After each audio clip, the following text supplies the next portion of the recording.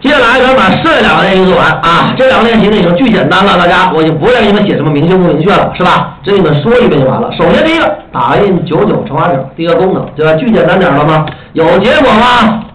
没有。没有，那没有 ID，那这个普任的九九吧，是吧？有参数吗？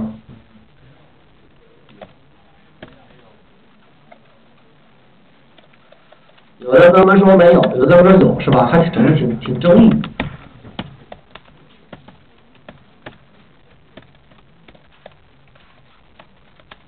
y 等于一，y 小于等于 x，y 加加，是这意思吧？我们这个呀，可以不用有参数，但是别着急，一会儿我给你们说说明这问题得了。那一会儿给我带参数的。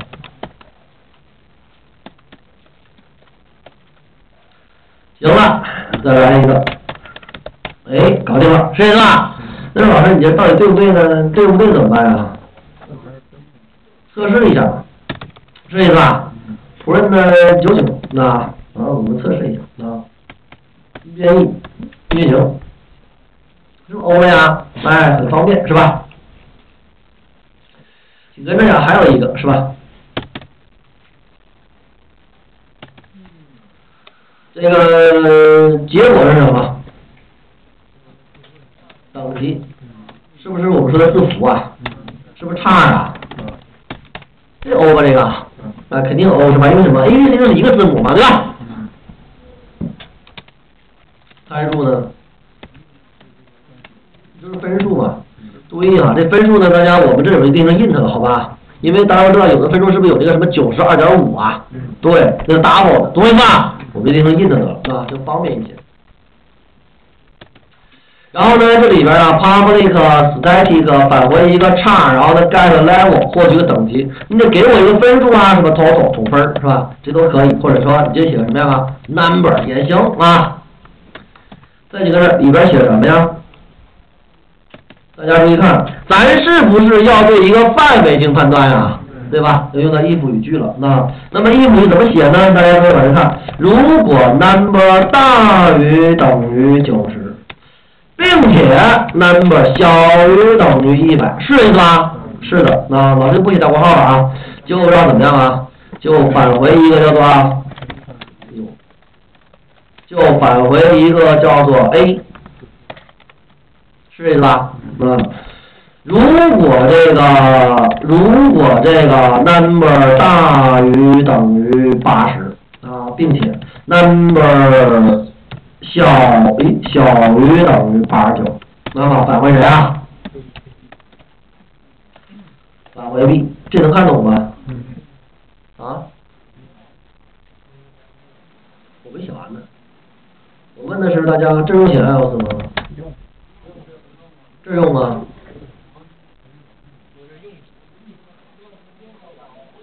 不不，我就写两句得了，用不用？这时候我可以不用。可以不用。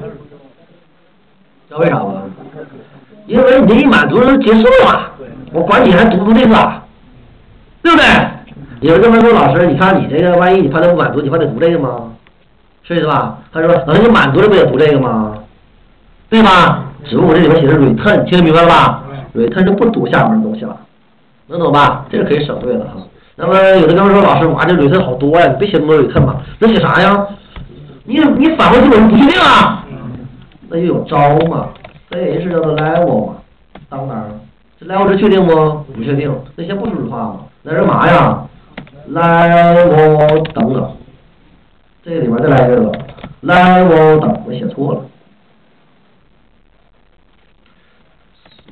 大家是这意思？一行，这意思吧？这个写 L 是不？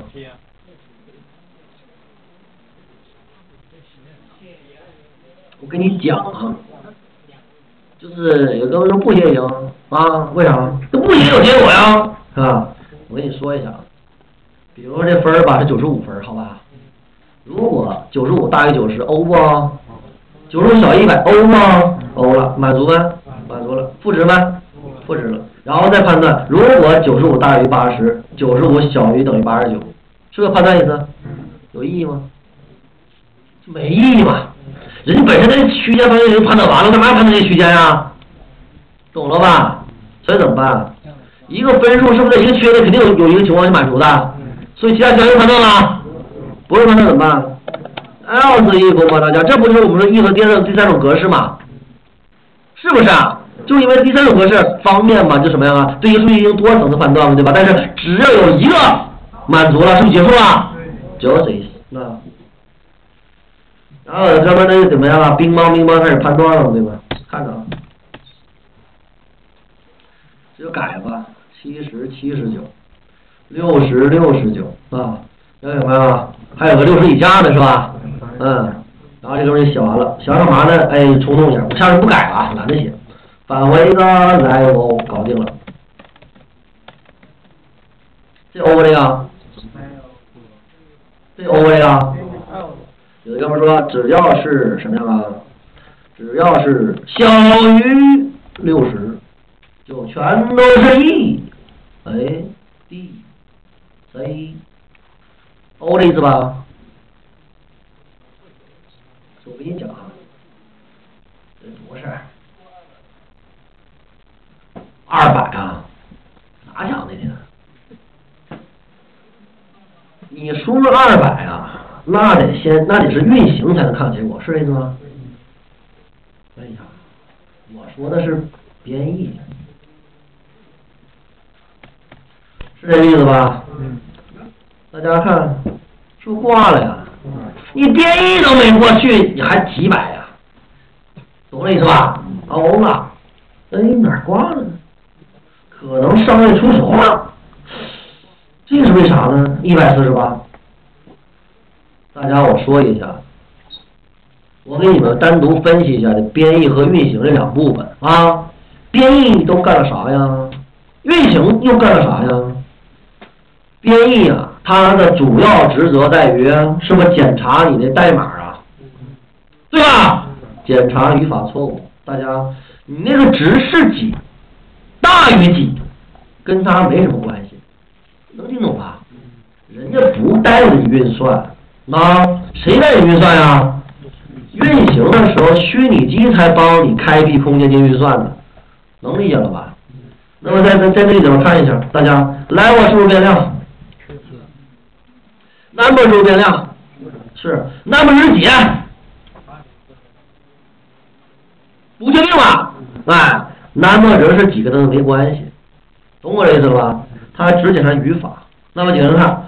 If else else else else，万一这四个这五个条件都没满足怎么办？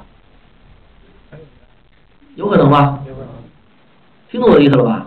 有的哥们说老师，我明白你的意思，小于六十怎么样啊？或者啊，number 大于一百，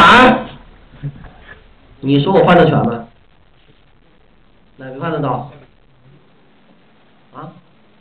负数啊？真是不了解，我这还不够全啊！我六十到一百之间有吗？六十和一百之外有吗？有。全吗？全了。那那怎么还不行呢？大家，人家编译器不管你这来 number 值到底什么范围之内，听懂我意思吗？人不做这判断。是你在做而已，你认为很到位，他只检查语法错误。他认为说你这几个条件如果都不满足，你这函数就没有结果。我说对吧？那就完了嘛。啊，有哥们抬杠的，老师这不全判断完了吗？这个他不知道这数值是几，他也不会去判断你这六十啊、一百、六十九啊、六十，他不看这事儿，懂了吧？那谁看呀？运行的时候，虚拟机才看这数值呢，它才真正的拿着你传下来的数在判断它是不是在九十和到一百之内。听得懂了吧？这个叫做语法错误，编译就失败了。欧来着，欧了，这怎么写的？你只要不在这 A、B、C、D 等级范围之内，是不是都是 E 呀？是是不是？什么这那的大于一百，小于六十，都是这范围之内的，这不就完了吗？能理解吗？大家？哦了，那个各位吧，老师不返回我输出行不？行不？写个 VYD，可以吧？这是可以的啊，但是这叫啥来着？思路错误吧？你把等级给我，我没想输出，你干嘛要输出？听懂吗？你该做你做的事就可以了，剩下的把这给我，我怎么做那是我的事。那这个就是大家定义函数的时候呢，一定要注意的一个思路问题，那，思想问题。好了，大家这小程序 O 了吧？啊，行了，不再废话了啊。